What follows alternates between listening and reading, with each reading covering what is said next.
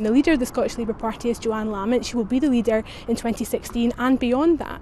So there's no debate around the future of the Scottish Labour Party's leadership. Johann's the leader. We know where we're going. We're going to try and convince people that we're making the best case for the future of this country, and we'll get on with that.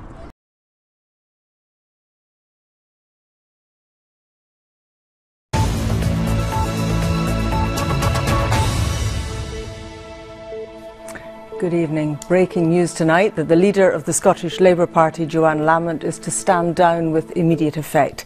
An official announcement will be made tomorrow.